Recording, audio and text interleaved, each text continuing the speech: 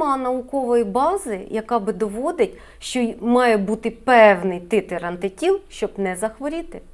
Є лише рекомендації ВОЗ, що е, максимальний інтервал після того, як перехворів доведеним коронавірусом, це 6 місяців.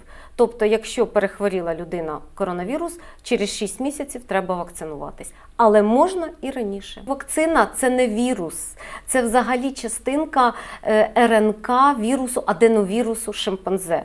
Тобто ніяк не можна ні захворіти внаслідок вакцинації, ані е, заразити інших.